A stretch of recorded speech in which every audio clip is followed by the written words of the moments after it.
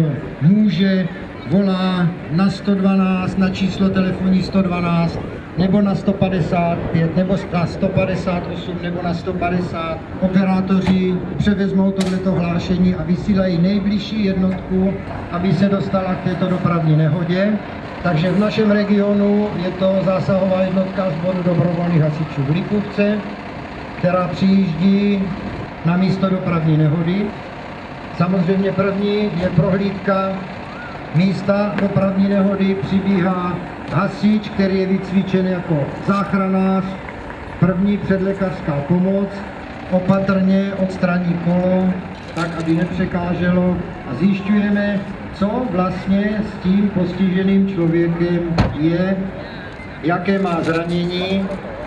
Pro zajištění krční páteře se nasazuje krční límec, opatrně sundáváme helmu cyklistickou, nasazení krčního límce tak, aby byla zajištěná krční páteř proti následkům zranění, aby se nám zranění nezhoršilo. Vidíte, že už jsou nachystaná nosítka. Eh, u zraněného není životní funkce dýchání, tak se nasazuje tzv. ambuva. Masáž srdce vám tady ukazovat nebudeme, protože na, je to simulovaná dopravní nehoda a na živém člověku se nemůže provádět umělá masáž srdce. Pokud by samozřejmě byla opravdová dopravní nehoda a to srdíčko mu e, nebouchalo, tak se provádí ta srdeční masáž a provádí se až do příjezdu záchranné služby. Pokud ještě je nějaké zranění, tak se samozřejmě zranění fixuje. Tady vidíte, že byla zřejmě zjištěna zlomenina dolní končetiny, takže se fixuje do dlahy. Se věnoval i tomuto šoférovi, i když žádné zranění neměl, ale věnoval se mu, aby eh, prostě tenhle ten řidič v tom šoku neprovedl nějakou hloupost, nějakou nepřístojnost, neutekl prostě, nebo nevymyslel něco špatného. Zajištěny životní funkce jsou a teď už jenom počkáme na příjezd záchranné služby.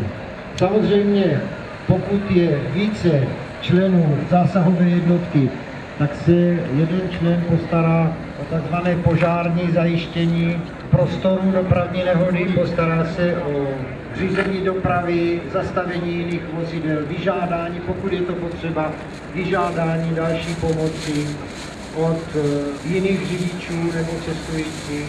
Na zraněného se přikládá eh, takzvaná tepelná folie, protože při tomto zranění dochází často k úniku tělesného tepla, tak aby nám zraněný neprochladl a neupadl do posttraumatického šoku, tak se přikryje eh, termofolií a vyčkáme na záchrannou službu. Odneseme zraněného z prostoru dopravní nehody někam bokem, počká se na příjezd policie, která vyšetří dopravní nehodu, záchranná služba si převezme zraněného a hasiči počkají, poklidí místo dopravní nehody, tak jak bývá zvykem.